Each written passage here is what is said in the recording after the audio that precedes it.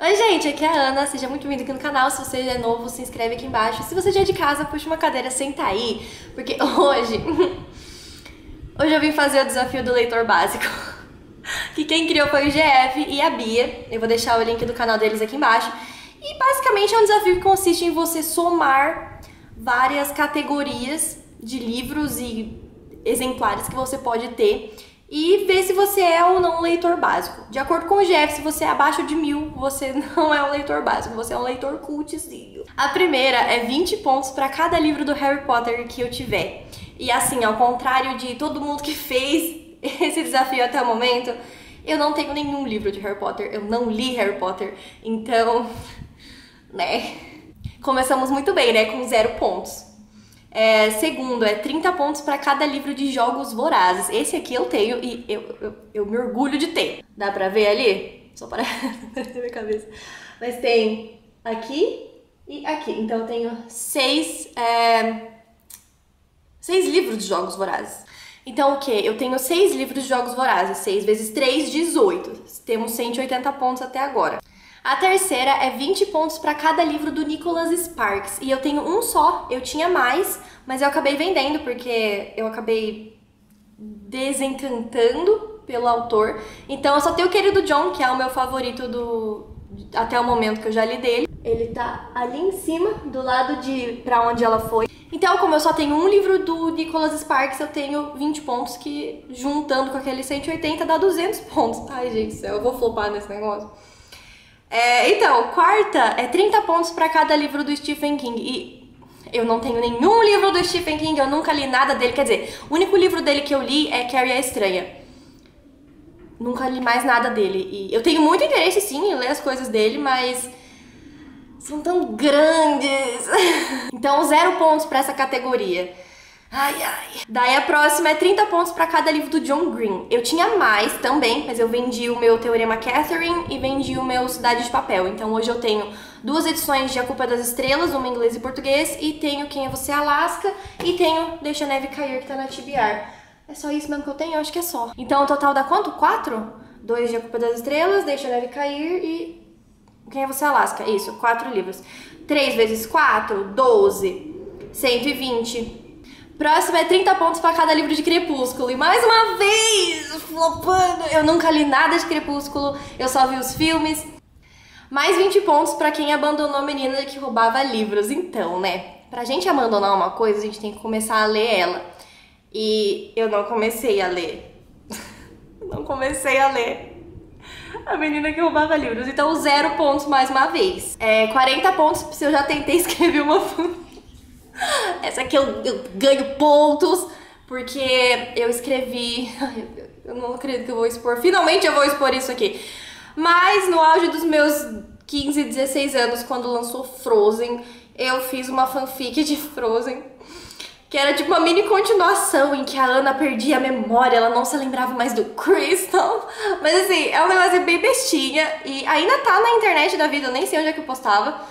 Mas tá aí. E a segunda fanfic que eu fiz foi de Jogos Vorazes, que foi depois do final. Só que antes do epílogo. É, era uma história que eu tinha criado que envolvia o Pita e a Katniss, que são né, o meu casal. E. Ai, Deus, que vergonha. Então, eu tenho duas fanfics. Então, eu tenho 80 pontos. É, 30 pontos para cada livro de A Seleção. Desse eu só tenho os três principais. Não sei se dá pra ver. Não, não dá pra ver. Desse aqui eu só tenho os três principais, então. É 30 pontos para cada livro, é isso? Isso, então eu tenho 90 pontos. É 20 pontos para cada livro da Sarah J. Maas. Esse eu tenho. Ah, então eu tenho os três de Acotar, tenho Cidade Crescente, tenho todo de Trono de Vidro, tem esse extra de, de Acotar também. Ai, calma, eu vou ter que virar para contar. É, 1, 2, 3, 4, 5, 6, 7, 8, 9, 10, 11, 12 e 13 com o de agora que eu tô lendo. É, 13 vezes 20? 260? Seguindo nesse carrosselzinho, 20 pontos para cada livro da Cassandra Clare. Maravilhosa.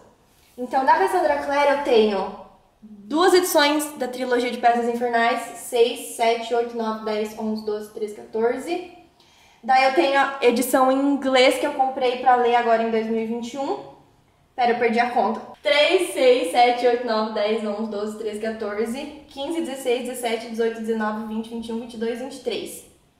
23 livros da Cassandra Clare. 23 vezes 2, 46, mais 460 pontos. A Cassandra Clare vai me salvar nesse vídeo. 40 para cada edição do Pequeno Príncipe. Eu tenho uma só que eu li em 2000 e... Provavelmente era 2010, 2011, que é uma bem fininha e ela tá na última prateleira da minha estante, então não vai dar pra ver, mas é a clássica basicona. É, então mais 40 pontos. Próximo é mais 30 pontos para cada livro da Jenkins Reid que eu li, da Taylor Jenkins Reid, essa, essa mulher. Então, eu li Daisy Jones and the Six e li Os Sete Maridos de Evelyn Hugo. Então, eu tenho quantos pontos? Eu tenho 60 pontos. 10 pontos para cada conto nacional lido. Eu li muito pouco conto nacional na minha vida inteira. É, mas eu tenho uma TBR, mas acho que eu devo ter lido uns 3, 4 contos.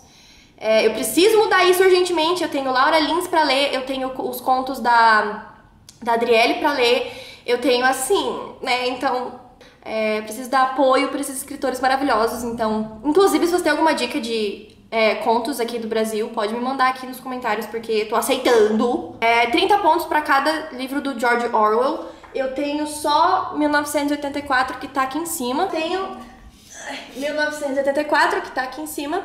É... E só. É, mais 30 pontos para cada livro do Percy Jackson. É, eu só tenho o primeiro nessa edição super antiga e toda destruída que eu tinha deixado com os meus irmãos e eles detonaram um livro. Mas enfim, só 30 pontos. 10 pontos para cada livro que não gostou ou não pretende ler, mas tem dó de dar embora. Eu acho que assim, eu fiz essa limpa há um bom tempo. Acho que foi em 2018 que eu fiz essa limpa na minha estante, que eram livros que eu não queria ler, enfim. Mas eu tenho alguns aqui que eu já li. Eu gostei da história, mas assim, se eu tiver ou não, pra mim é indiferente. Que é. Deixa eu ver se vai aparecer. É, é Ana Vestida de Sangue, que eu não tenho interesse em continuar, que tem, eu sei que tem mais um livro. É, a Queda dos Anjos também, eu li só o primeiro, não tenho interesse em ler os outros, então. Dois. 10 pontos para cada livro da Dark Side que você só tem porque é bonito, mas nunca leu. Então, ironicamente, eu não tenho nenhum livro da Dark Side. Mas não é por falta de não, não querer comprar. Porque eu queria Death of Thieves e não tem em nenhum lugar. Nem o primeiro, nem o segundo. Então, assim, eu fico frustradíssima. Porque tá aí um livro que eu li e eu falei, putz, quero e não tinha versão física. Então eu passei muito nervoso, vou ter que apelar para edição em inglês mesmo.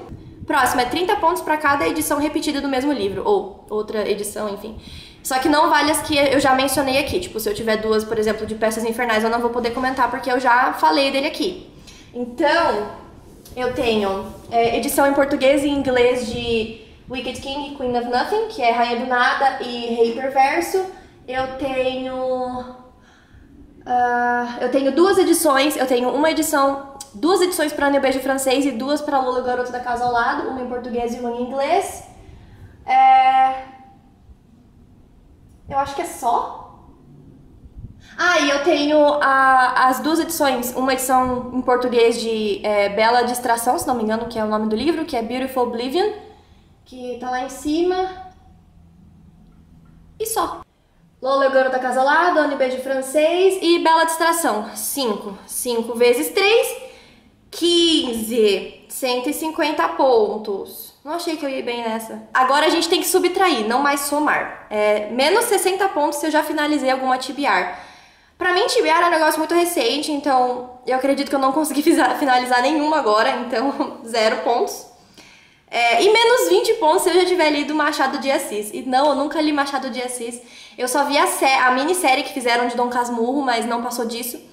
E eu tenho sim interesse em ler os livros dele, mas não sei quando isso vai acontecer. Então é isso, gente. Esse é o vídeo. Espero que vocês tenham gostado desse desafio. Inclusive, deixa eu fazer até a soma que eu não sei quanto é que deu. Gente, falhei miseravelmente nesse negócio. Eu achei que eu ia ser melhor nisso, mas eu sou quase uma leitora não básica.